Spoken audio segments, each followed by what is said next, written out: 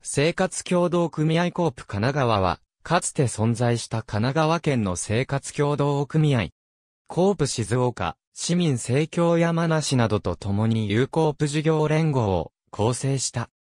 2013年3月21日に、コープ静岡、コープ山梨と合併して、生活協同組合有コープとなる。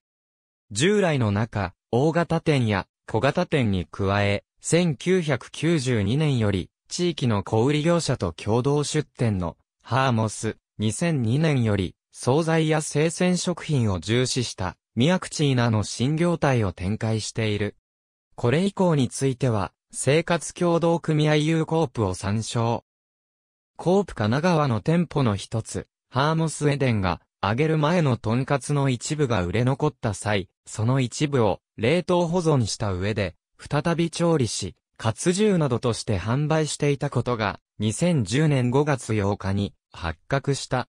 食品衛生法には抵触しなかったが、コープ神奈川の内規違反であったため、公表した。そして、アスエコープ神奈川60年の歩み2007年4月20日発行、ハーモスは、テナントを入居させている店舗で使用。ミヤクチーナは、イタリア語で、私の台所という意味。三世教組織合同の認可書が交付されました。